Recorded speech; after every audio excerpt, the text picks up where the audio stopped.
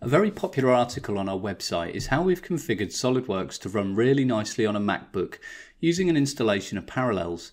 A lot of people want to see how well this works firsthand, so over the next few minutes I'll talk you through the differences we see in performance over a standard installation on Parallels with no modifications and then show you the modified solution. Firstly, let's take a look at Parallels in action on the Mac. Everyday Mac users don't want to be turning their machine off to boot up in Boot Camp just to access Windows, and nobody really wants to run two computers if they can help it, so Parallels offers a useful alternative. We can just double click and start a Windows session. This is great if you need to switch between your email, Keynote and then back to Windows, as everything is running all at the same time. Your files are available in both operating systems, so another big benefit over Boot Camp. Because we are effectively running two operating systems, we need to be conscious of the resource that's available.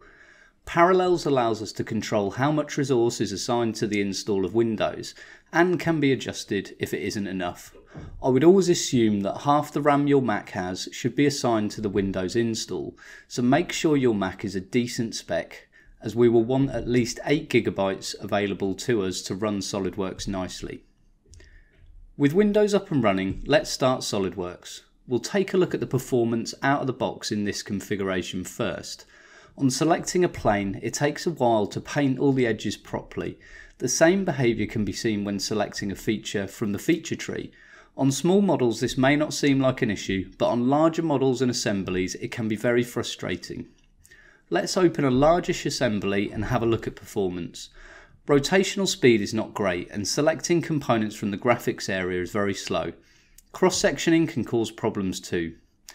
Switching over to a drawing, we could also see some slow performance there. Moving over to our modified configuration, we'll go through the same steps. So selecting the plane is nice and quick, and picking a feature from the tree for selection is good too.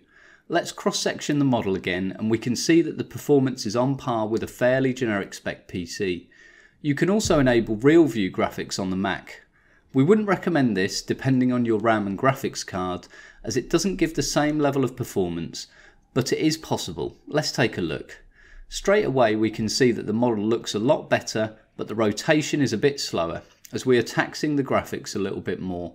I personally wouldn't want to run with real view on all the time so you can turn it off from the heads up toolbar at the top of the interface. So we can enable the option and then you have the choice as to when to turn it on. We've highlighted some of the performance differences between the configurations so you can see for yourself whether running on a Mac in this way would work for you. We've used Parallels and Windows with some small modifications to the registry to make this work. Everything is reversible. You can access your files in Windows from the Mac OS and vice versa without shutting down. Innova have around 20 customers using this on a daily basis, and for general SolidWorks modelling and assembly creation, it works very well. For other associated programs like Visualize or Simulation, it's not recommended, as we just can't address enough of the machine's power to make them work nicely. For these types of programs, a Windows based machine would be a better fit. If you would like to know more about this or see a live demonstration of SolidWorks running on a Mac, please get in contact with us.